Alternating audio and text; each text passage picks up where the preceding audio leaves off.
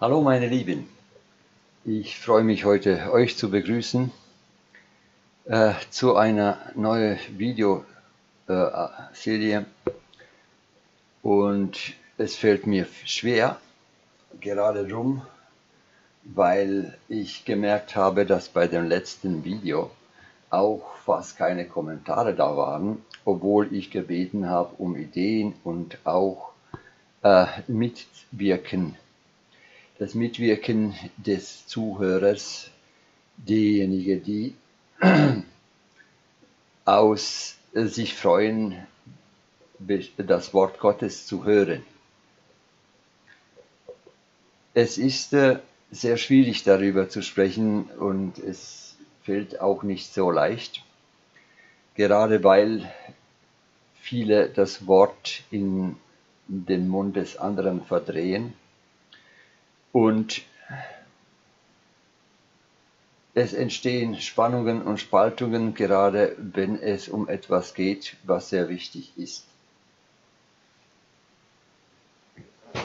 Meine Lieben, ich habe mir gedacht, ich lese heute mal was euch vor und ich möchte, dass ihr euch Gedanken macht darüber und es auch ernst nimmt. Ich möchte dieses Thema auch von mehreren Seiten beleuchten und äh, ich denke, hört es bis zu Ende an und entscheidet ihr, was ihr damit dann anfangt. Ich würde 1. Korinther 9 mal lesen, äh, die ersten 15 Versen.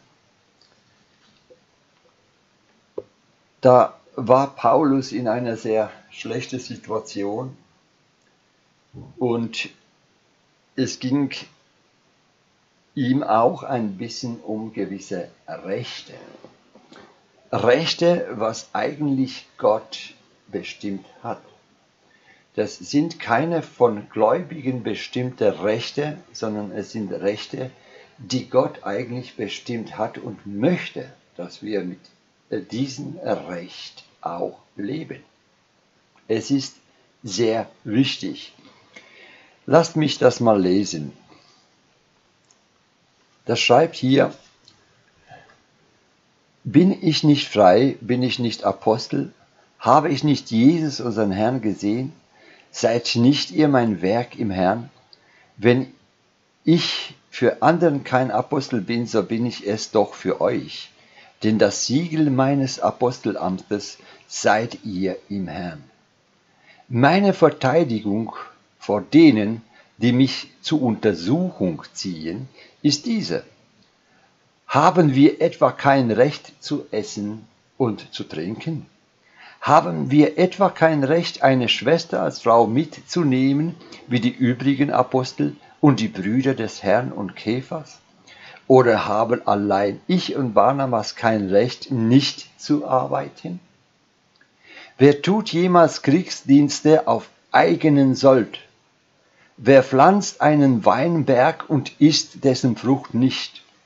Oder wer hütet eine Herde und isst nicht von der Milch der Herde? Rede ich dies etwa nach Menschenweise oder sagt das nicht auch das Gesetz? Den, in dem Gesetz Mose steht geschrieben, du sollst den Ochsen, der dich da drischt, nicht den Maul verbinden. Ist Gott äh, etwa um die Ochsen besorgt oder spricht er nicht durchaus um unsert Willen? Denn es ist um unser Willen geschrieben, dass der Flügel, äh, Flüger auf Hoffnung flügen und der Dreschende dreschen soll auf Hoffnung am Ertrag teilzuhaben. Wenn wir aus dem Geistlichen gesät haben, äh, wenn wir euch das Geistliche gesät haben, was ist das, das Gro Großes, worin wir von euch das Irdische ernten? Wenn andere an der Verfügungsrecht über euch Anteil haben, nicht erst recht wir? Wir haben aber von diesem Recht kein Gebrauch gemacht, sondern wir ertragen alles, damit wir das Evangelium Christi kein Hindernis bereiten.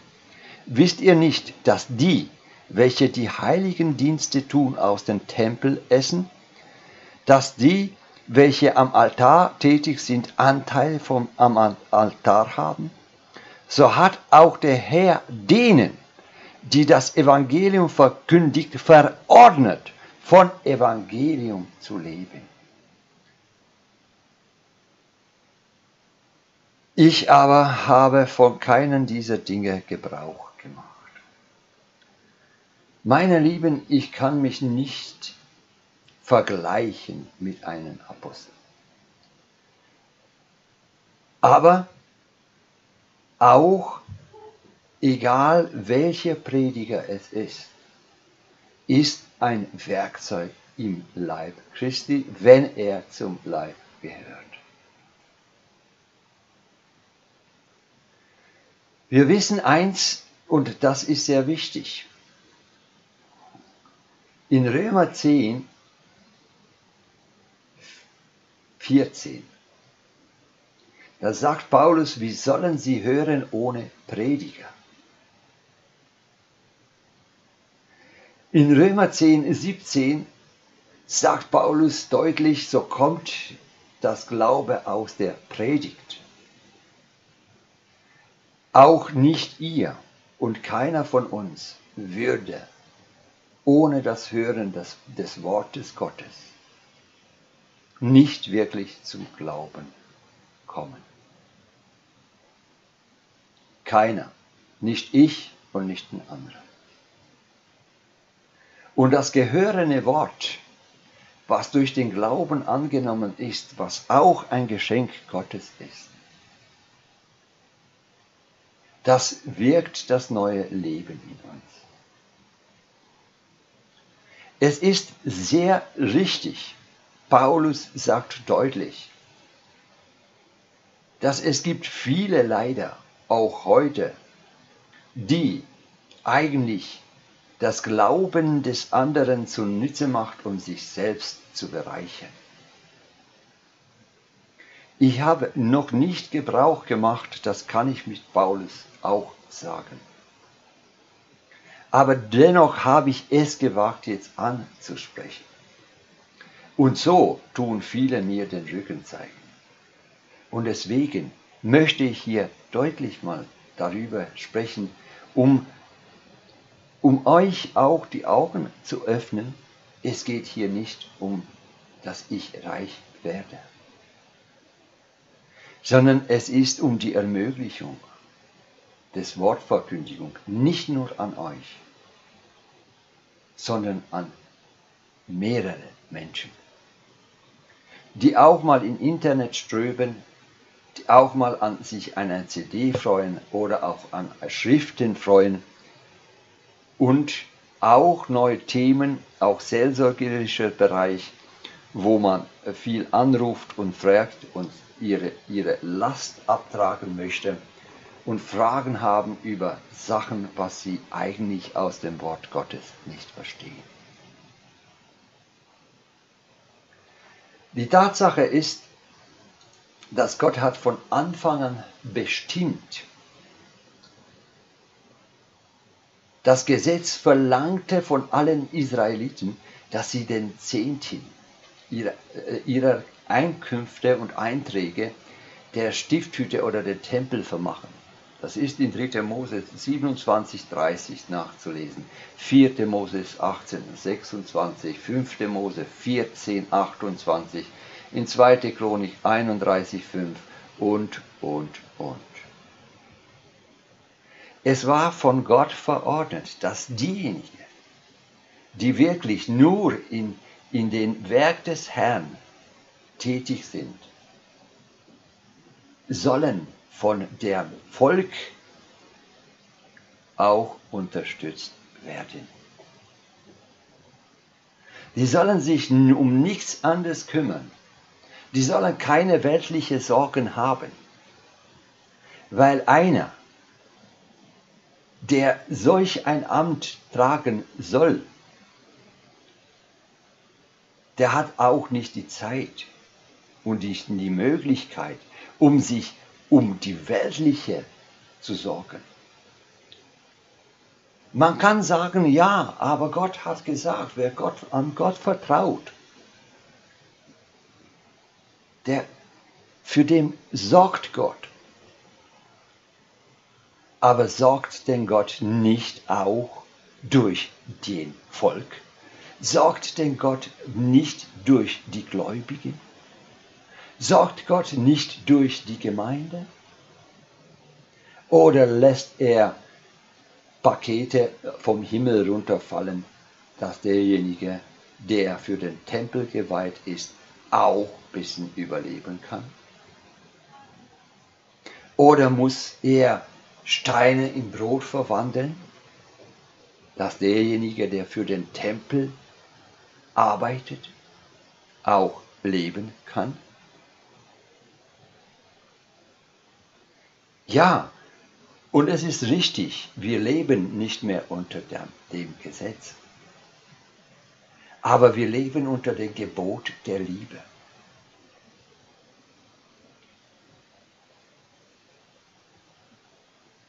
Und Paulus sagt deutlich auch in 1. Korinther 16, 1, 2, dass der Teil des Einkommens jede zur Unterstützung der Gemeinde. Und wenn er über die Gemeinde spricht, spricht er über die Prediger, über diejenigen, die das Wort verkündigen, über diejenigen, die die Herde leiten und begleiten. Das sollen sie zurücklegen und natürlich, das Gebot der Liebe sagt, dass das, was nach meinem Gedünken, wieder in 1. Korinther 16, äh, nach das, was ich denke, das, was mir übrig bleibt, das, was ich wie, äh, abgeben kann, ohne dass ich da, dabei verhungere, das soll ich mit Liebe geben und zwar nicht für den oder die, sondern für den Herrn. Weil mein Rechter soll nicht wissen, was mein Linke tut. Und jeder einzelne Christ müsste wirklich ernsthaft vor Gott stehen und Weisheit erbitten, wie und wo er wirklich helfen soll. Das sagt Jakobus in 1,5.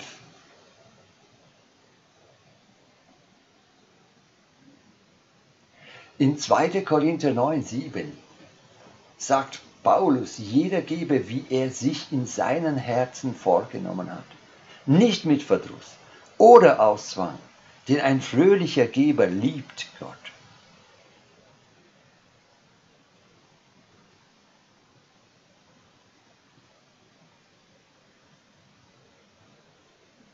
Kein Prediger, der für Geld predigt, ist natürlich von Gott. Aber kein Prediger,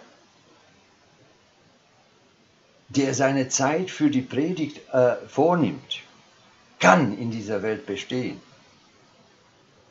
weil alles kostet was. Du kannst als Prediger nicht reingehen zur Lieder und sagen, ich tu dir was predigen, gib mir ein Stück Brot. Oder lass mich wohnen, ich tu dir jeden Tag eine Predigt zu äh, schicken, lass mich dafür umsonst wohnen. Weil auch ein Prediger hat Anteil an dieser Welt. Wir leben im Fleisch und Blut in dieser Welt, wo bestimmte Gesetze sind, die man nicht fliehen kann, entfliehen kann. Und wenn Paulus sagt, einer trage der Last des anderen, dann meint er auch, dass wir füreinander da sind. Die Predigen entstehen auch nicht so, dass ich mich hinsetze mal eine Stunde meine Predigt loslasse und dann gehe ich weiter und mache mein Zeug. Sondern da steht auch Gebet und Vorbereitung dahinten. Und außerdem, wie soll man eigentlich auch andere erreichen, wenn niemand ein Mittel dafür zu Verfügung setzt. Wenn jeder gleich sagt, oh, der ist geldgeil geworden, der will reich werden. Meine Lieben, man kann es prüfen. Ist mein Wort aus Gott? Ist mein Wort standhaft? Sind Leute wirklich, denen das Wort, was man verkündigt, auch erbaut, ermahnt. Meint er es ernst oder er meint wirklich, jetzt lass mich dabei was verdienen.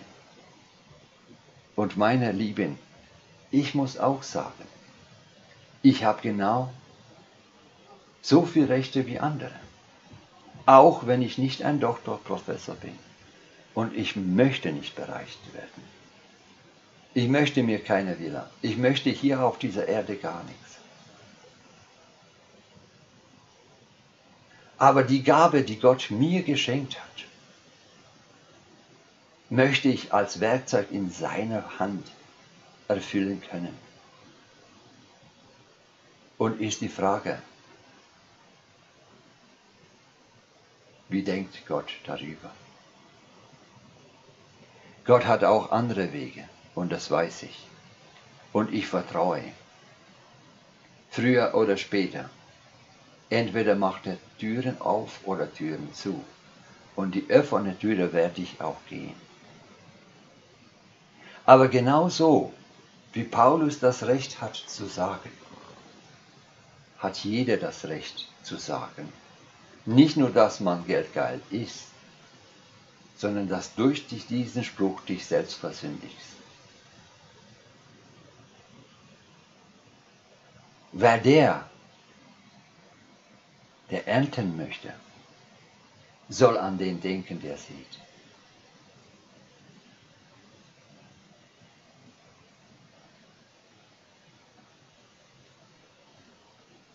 Es kommt, es kommt tatsächlich, das Glauben kommt tatsächlich durch die Predigt, durch das Wort Gottes. Und wenn wir keine Prediger haben, wer wird dann noch zu Glauben kommen?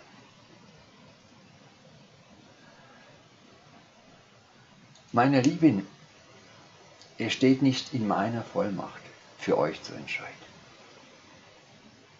Es ist auch kein Gesetz und kein Pflicht, sondern es ist das, was Jesus gesagt hat, auch seinen Jüngern. Ein neuen Gebot gebe ich euch.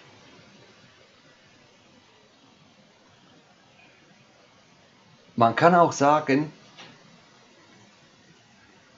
ja, es gibt ein Sozialamt. Geh dahin und mach Antrag. Dann hast du von der Stadt Geld und da kannst du daraus leben.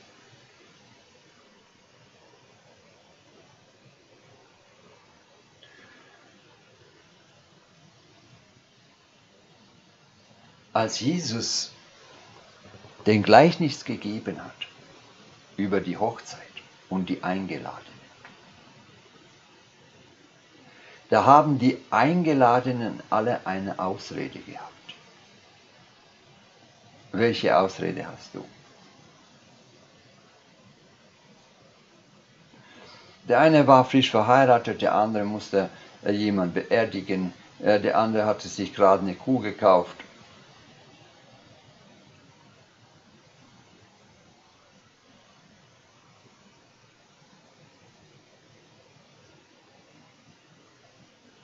Welche Ausreden habe ich denn?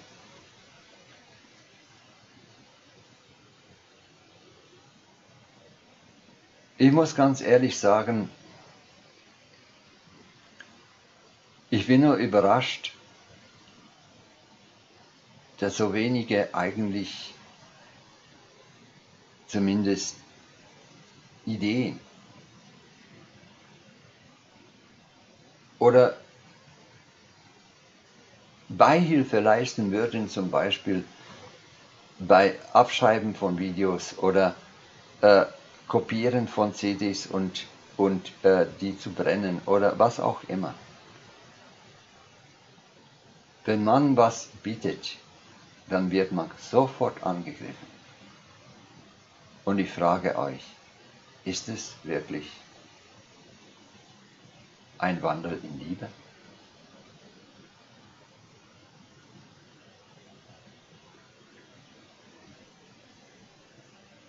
Ich habe schon abgehakt und ich will von euch nichts mehr in dem Sinn. Wenn ihr von Gott geleitet seid, ist, dann ist das seine Sache. Dann freue ich mich. Aber ich möchte diese Art von Wortwandel, dass jemand geldgeil ist, nicht für mich in Gebrauch nehmen.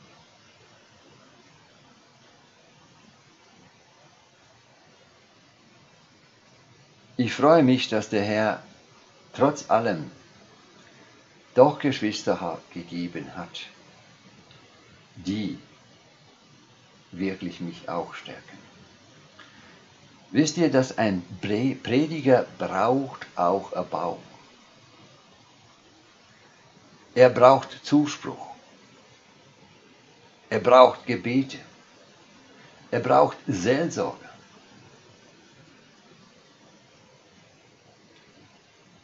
Er braucht auch Leute, die ihm fröhlich machen. Weil ein Prediger ist genauso ein Mensch wie du. Nur er hat die Gabe erhalten, das Wort zu verkündigen.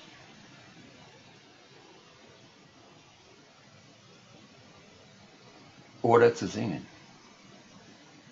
Oder was anderes als im Werk des äh, äh, im Reich Gottes zu machen. Und alles ist sehr wichtig. Und wenn wir nicht aufeinander achten, sollen wir uns auch nicht wundern, dass Gott uns alles wegnimmt.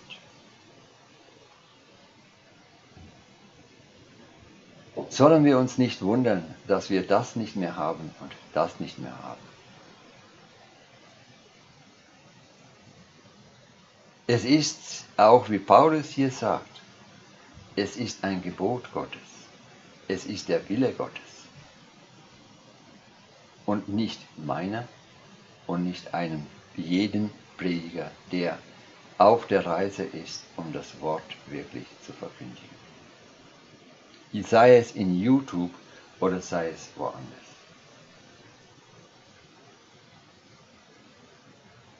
Und wenn das Wort für mich eindeutig aus Gottes Mund kommt,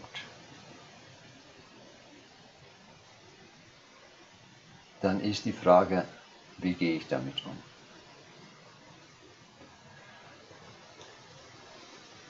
Ich werde mit YouTube nicht aufhören, egal auch wenn die ganzen Abonnenten weggehen. Ich werde das auch weitermachen, auch wenn ich nicht äh, in keinerlei Unterstützung kriege. Und ich werde auch CDs machen und ich werde auch drucken und ich werde auch das verteilen. Weil das, was Gott mir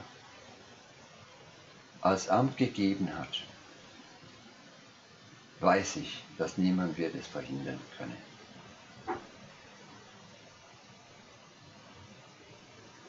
Ich wünsche euch wirklich Gottes Segen. Überlegt euch das Ganze. Und denkt nach, ob ihr jetzt das Raum gibt, den Teufel in euren Herzen und es negativ aufnimmt oder wirklich vor Gott geht und ihm fragt, wie es weitergehen soll. Ich freue mich für jede Zuspruch. Ich freue mich für jeden einzelnen von euch. Ohne oder mit Spende oder Unterstützung. Weil diejenigen, die es nicht können, die weiß ich, die, die, die, die unterstützen mich im Gebet und das ist auch sehr wichtig. Jeder, wie es gekriegt hat, jeder, wie es hat.